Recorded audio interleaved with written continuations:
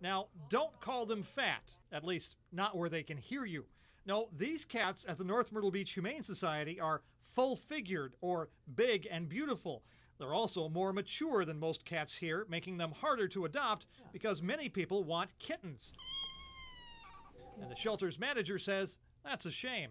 We recommend that people come in and get the adult cats because then you know what kind of personality you're getting. 17 of the shelter's 150 or so cats weigh more than 10 pounds. They're the ones in the big and beautiful promotion. Hunter says too many cat owners leave an abundance of food out for their pets all the time instead of small portions left out a couple of times a day.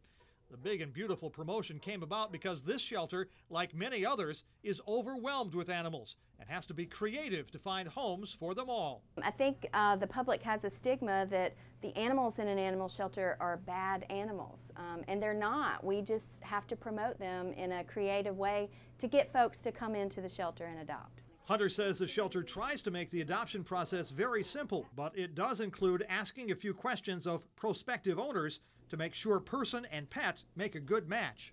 We just try to really give you what you need to get off on the right foot and to make that adoption a success.